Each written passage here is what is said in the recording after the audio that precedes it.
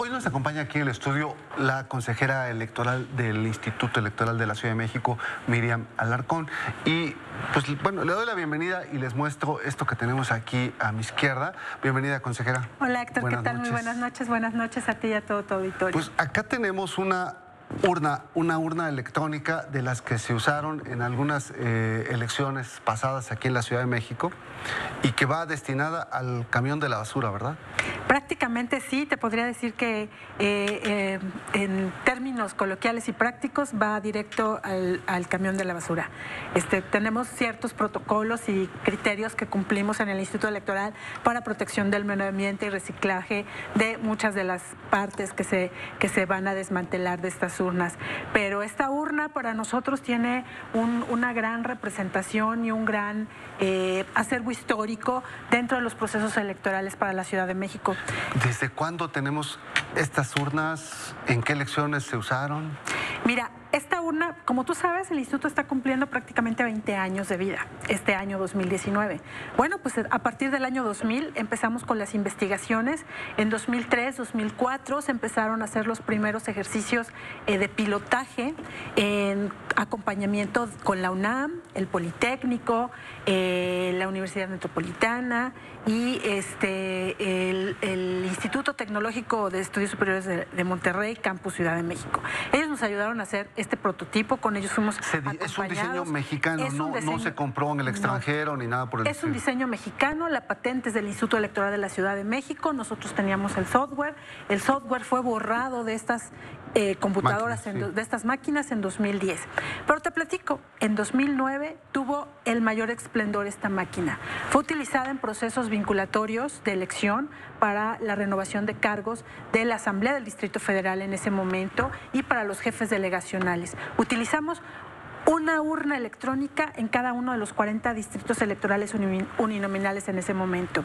Entonces, prácticamente eh, con esos y con otros ejercicios que se utilizaron con esta máquina, eh, partidos políticos como Acción Nacional la ocupó para la renovación de sus cargos, el gobierno del Distrito Federal para hacer algunas consultas en materia de ecología, el economista en su momento nos las pidió, eh, el Estado de Chihuahua para hacer alguna consulta, y, y ahí en esa consulta del Estado de Chihuahua se utilizaron el lenguaje, por ejemplo, alta tarahumara, baja tarahumara, lenguaje braille, inglés, para que se pudieran hacer las elecciones de acuerdo. Bueno, eso déjame mostrarlo, a ver si nos pueden poner la cámara para mostrar cómo se abre esta urna. Este, ahí está.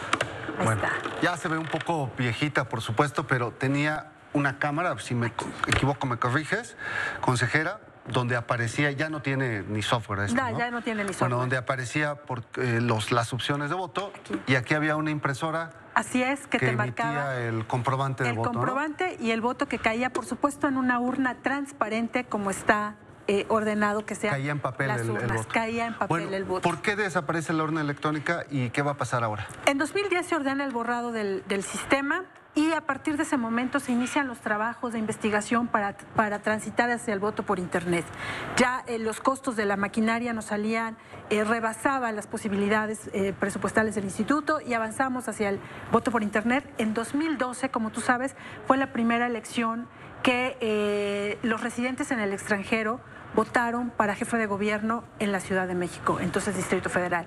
Y ahí utilizamos ya por primera ocasión para un proceso vinculante el voto por Internet desde el extranjero. A partir de ese momento, desde 2013 y hasta la fecha, hemos venido avanzando en este sistema desarrollado también en el Instituto Electoral de la Ciudad de México, donde hemos buscado encontrar eh, etapas que blinden el proceso, donde nosotros sigamos manteniendo eh, los principios del voto, libre, secreto, universal, directo, no transferible, y con eso pues resguardar la autonomía y la, el, el no robo de enfrentar el miedo de, exactamente, el miedo de que vayan a pues hacer fraude vía internet, de, lo que pasa un poco con el comercio electrónico y la desconfianza que, este, que existe. Que se genera en cualquier sistema. ¿2021 sería la, la, próxima este, elección en las que sucederían o habría algún algún otro ejercicio antes?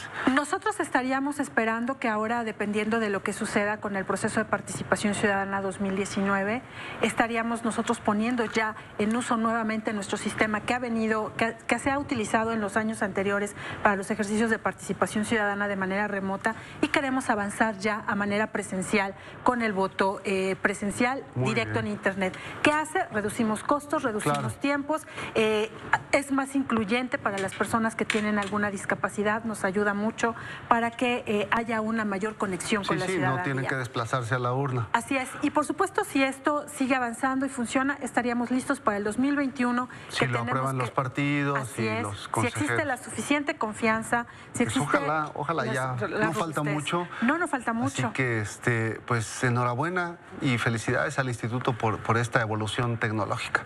Muchas gracias. Las tecnologías a veces nos rebasan a la sociedad, pero seguimos trabajando para que haya mayor participación para la ciudadanía y confianza en nosotros. Gracias, consejera. Gracias a todos. Buenas, noches.